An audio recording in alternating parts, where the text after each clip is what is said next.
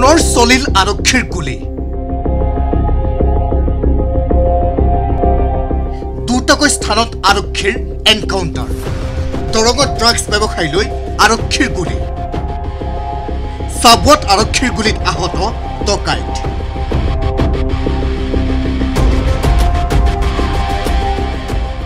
দৰঙত পুনৰ ড্ৰাগছ ব্যৱসায়ীলৈ লক্ষ্য কৰি আৰক্ষীৰ গুলীচালনা ঘটনা অনুসৰি ধুলা থানাৰ আৰক্ষীয়ে হীৰাপাৰাৰ পৰা শুকুৰবাৰে কুদ্দুছ আলী নামৰ এটা ড্ৰাগছ ব্যৱসায়ীক আটক কৰে।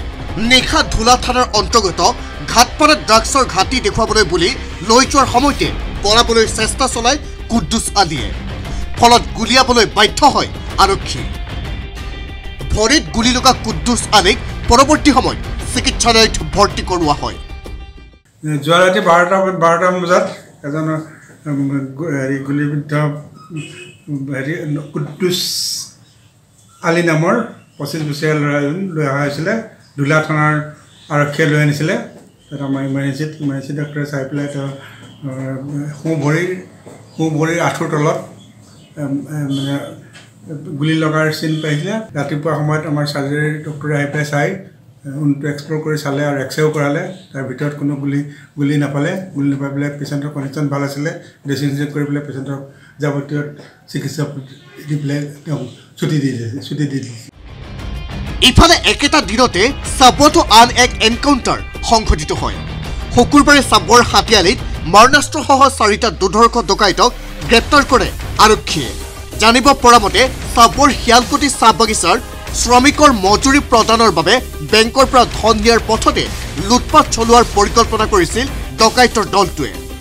নিশালৈ চাৰিজনীয়া ডকাইতৰ দলটোৰ ধনঞ্জয় গিৰি নামৰ ডকাইতটোৱে আৰক্ষীৰ জিম্মাৰ পৰা পলায়নৰ চেষ্টা কৰাৰ সময়তে সংঘটিত হয় এনকাউণ্টাৰ। এটা স্থানত বহি এইটো এটা ডকাইতি প্লান কৰি আছে আৰু additional S C head headquarter supervisor O' C Chabua এটা টীম লৈ অপাৰেশ্যন চলাইছে। আৰু অপাৰেশ্যন আমি সফল হৈছোঁ। আৰু আহ, এইটো গেং মেম্বাৰ তাত আটক কৰা হৈছে।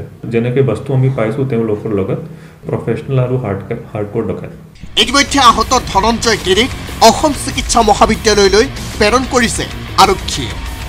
মঙলদৈৰ পৰা পংকজ কুমাৰ শৰ্মা আৰু চাবুৱাৰ পৰা দিবাকৰ দত্তৰ report N T twenty four.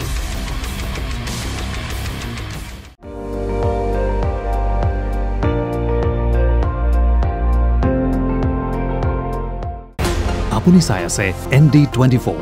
সৰ্বশ্ৰেষ্ঠ নহয় সৰ্বোত্তমৰ দৌৰ